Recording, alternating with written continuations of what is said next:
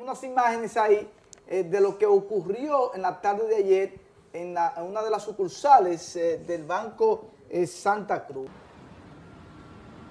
Ocurrió en la tarde de ayer, ya luego sale más adelante un ejecutivo, me parece, o alguien relacionado al banco, dando las informaciones de qué fue lo que ocurrió. El Banco Santa Cruz, eso se llama tener comunicación efectiva. O sea, hoy en día tú no puedes darle eh, paso a los rumores. Inmediatamente el Banco Santa Cruz eh, realizó un comunicado eh, que tenemos... Vamos a adelantar un poquito. Ah, ahí está el comunicado, señor director. en horas de la tarde de este jueves, en nuestras oficinas de la 27 de febrero de la ciudad de Santiago, se apersonaron agentes de la DNCD, o sea, la Dirección Nacional de Control de Drogas, persiguiendo a unos supuestos mensajeros que ingresaron con la intención de realizar una transacción en caja. Nuestra institución no tiene vinculación alguna con este hecho. En Banco Santa Cruz siempre nos hemos caracterizado por nuestra transparencia y apegado al sólido principio o a, sólidos principios y valores, los cuales están alineados a las buenas prácticas y cumplimiento de las normas y leyes que rigen el sistema financiero dominicano. O sea, tenemos una declaración ahí, señor director, eh, ahí mismo en ese video, de una persona que estaba, eh, parece que es eh, miembro del banco. Vamos a escuchar.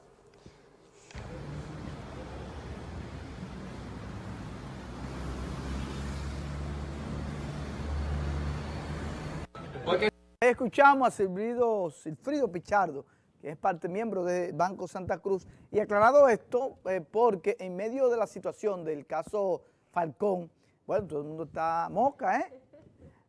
es como, eh, eh, por ejemplo... En estos casos. Por ejemplo, mañana, o no mañana, desde esta semana en Estados Unidos se ha redoblado la seguridad, porque mañana se van a hacer unas conmemoraciones eh, como cada año, principalmente en la fuente que se hizo en donde estaban las dos torres gemelas, hay dos torres gigantescas ahí en la zona cero y se hacen muchas actividades. Entonces se, refuerza la seguridad tanto en los aeropuertos eh, como también en la ciudad de Nueva York y otros monumentos importantes eh, de Estados Unidos. entonces, tú ves, uno está en Moca, entonces, con este asunto del caso Falcón y las declaraciones de las autoridades, principalmente de la fiscal Jenny Berenice, que dice que todavía eh, quedan algunos involucrados eh, por arrestar y algunas empresas, eh, se está hablando que esta gente, según las declaraciones, han movido cientos de toneladas de drogas a diferentes partes del mundo y más de 10 mil millones se, habla de pesos que han podido lavar a través de sus negocios ilícitos. O sea, esto ha destapado, señores, un asunto que aún corre, corre. Mucha gente corriendo y durmiendo en pijamas. Algunos en ropa normal. Me preocupa que hoy nuestra compañera. Ay, Dios mío. Paola aquí, Paola Estrella. No, no, Paola está trabajando. ¿Qué pasa? Ah, no, pero, no, pero la Entonces, él insinúa y mete a Luis al Me preocupa porque hoy es viernes pero no, no usted sabe lo que es este fin de semana. Sí, está este trabajando. Pero eh, eh, eh, realmente cualquier situación ahora mismo, la gente, como decimos buen cibaño, está moca. Y esa situación de la DNCD, tirarse a esa sucursal de la avenida 27 de febrero, en la ciudad de Santiago, preocupó y obviamente el banco tuvo que salir inmediatamente a dar un comunicado aclarando la situación porque esto puede, señores, esto es delicado, la gente puede salir corriendo, sacar los chelitos del banco, creyendo que otra cosa, que lo están embargando, ¿me entiendes? Aquí hubo una vez O que puede frizarse porque sea dinero, tengan vínculo con el narcotráfico. Es bueno que siempre las instituciones tengan una comunicación eh, efectiva en estos casos tan delicados. No, no, pero eh, yo felicito al ah, ejecutivo del Banco Santa Cruz. Claro que sí, actuaron como debe de hizo viral una comunicación, un comunicado oficial eh, del banco, pero que también a nivel bancario nosotros tuvimos una mala experiencia. Eh, con varias entidades bancarias que han quebrado y, por ejemplo, aquel caso Baninte, un caso que quebró medio país. Entonces, pero bien, ya gracias a Dios, a nivel bancario, Eh, tenemos eh, a la superintendencia de bancos que constantemente está supervisando las transacciones bancarias que se están realizando en los bancos. Está el tema de la ley de lavado de activos, que también esto ayuda un poco, ¿eh? porque como digo una, digo la otra. La ley de lavado de activos tiene ya un tiempo en República Dominicana y, cualquier infeliz va a retirar 10 mil dólares o más de 10 mil dólares y te piden hasta, tu descendencia, eh, tu quintava descendencia, ¿eh? Sí. Y para tú depositar más de 2 o 3 millones de pesos en un banco. No te pregunta. no, te, te, pregunta, claro que sí. no así. claro, la procedencia, claro. La ley de lavado de activos te contempla eso. Pero yo estoy hablando en cualquier mortal. Por ejemplo, cualquier persona que vaya a un banco. Ahora, yo no entiendo, yo no entiendo, y ojalá algún banquero o algún economista ¿eh? o financiero nos llame y nos explique cómo esta persona pudieron lavar durante los últimos 5, 6, 7 años más de 10 mil millones de pesos que pasan por los bancos. Sin las instituciones pertinentes Yo no entiendo. se dan cuenta. Cuando Anabel Gómez, Anabel que se llama. Anabel. Anabel, ella dijo textualmente que era socia de un dealer en Santiago. Y ahí ustedes vienen en la torre, que a ella la fueron a apresar. ella dijo eso después de haber dado unas declaraciones en las cuales ella afirmaba que se encontraba en una situación económica difícil, puesto a la enfermedad que se le presentó, que fue la causante del divorcio de ella y Franklin Mirabal. ¿Cuál enfermedad de causante de divorcio? ¿Cuál enfermedad es? Ella en una entrevista dijo que ella estaba enferma de cáncer y que Franklin no le dio el apoyo económico que ella necesitaba, que ella se encontraba en ese momento en una situación, exacto, en una situación crítica económicamente hablando y también moral. Entonces, después de estas, eh, poco tiempo después de estas declaraciones, un año, no recuerdo bien, entonces ella dice que eso sea de un dealer. Ajá, pero...